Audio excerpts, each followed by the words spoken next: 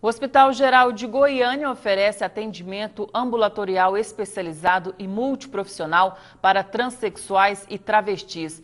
O HGG também já está preparado para cirurgias de readequação sexual. Kel é um dos pacientes do serviço especializado do processo transexualizador do Hospital Geral de Goiânia.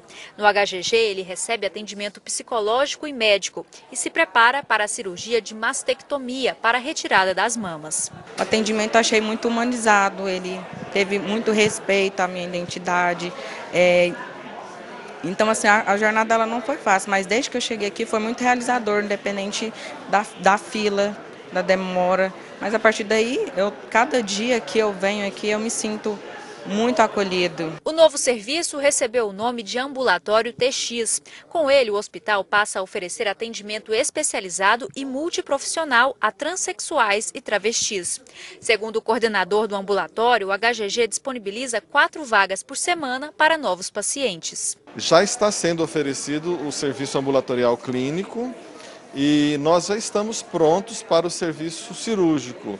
Agora, não depende aqui da unidade do Hospital HGG é, começar o cirúrgico sem que nos apresentem pacientes que já estão preparados, que já fazem parte dessa fila, é, porque isso depende de uma regulação nacional. O serviço de atendimento especializado já está em funcionamento aqui no HGG.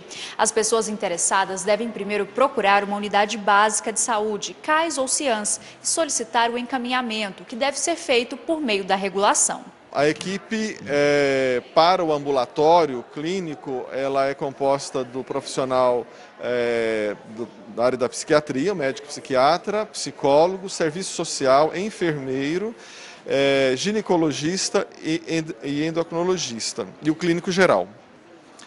No cirúrgico, integra, além desses profissionais, o profissional da, da cirurgia plástica e todos esses outros é, que eu enumerei aqui. A importância de um serviço como esse é de humanizar, é, de, de oferecer um espaço humanizado de saúde para essas pessoas que são vítimas de situações como essa.